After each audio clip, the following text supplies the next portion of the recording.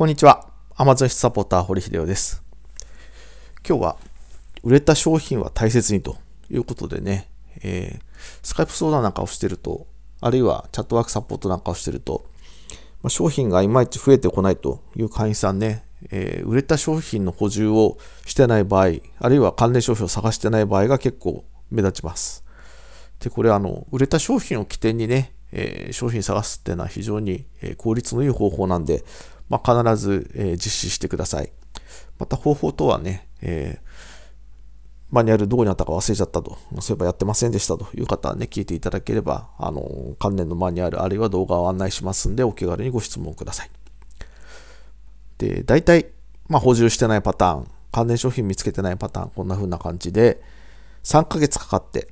少しずつ値下げしてやっと売れたと。ね、まあ、ちょっとは利益出てるけど、えー、まあ、何しろ3ヶ月かかってやっておりだからあんま売れねえんだろうということでね、えー、まあ、次回、えー、納品するときに、えー、思い出したら補充しようぐらいのもうすんごいなんか後回しな感じにされちゃってる、えー、商品が結構あります、えー。そんな商品でも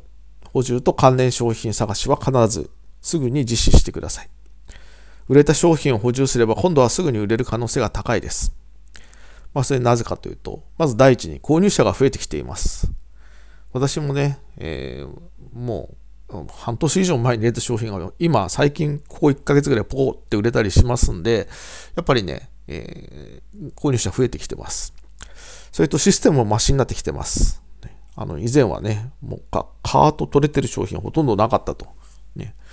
カートな、なんでカート与えないの？まあ、資格がある人がいないっていうのもあるかもしれないですけど、それにしてもね、カートを取ってる人が極端に少なかったんですけど、まあ、最近は普通にカートも取れるようになってきてる。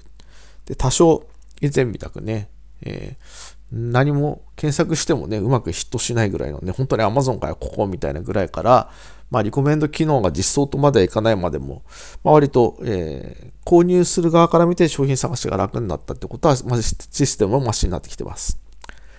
それと、何よりも売れた商品を補充するのが一番確率の高い販売方法です。ね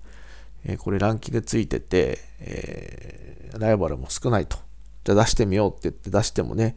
結局ライバル少ないって言ってもその少ないライバルが強くて自分が売れないかもしれない。それは出してみないと確認できないんですけど、少なくとも売れたという事実はね、自分が出しゃ売れるということですから、あとは単純に、えー、それで利益が出るかどうかってだけの話です。また仮に利益がね、ちょっとしか出なかったとしても、まあそれの関連商品は利益出る商品があるっていうのは非常に確率として高いんで、まあ何しろ、売れた商品はおざなりにしないと。ね、補充と関連商品探しは、え、第一優先でやってください。あの新規の商品を、えー、見つけるよりもよっぽどその売れた商品の、えー、補充と関連商品の、えー、サーチというのはね、え打率が高いんで、ここやらないと売上も利益も増えますのでね、え売れた商品は大切にしてください。また、ご質問、確認、ご報告をお待ちしてます。Amazon サポーター、堀秀夫でした。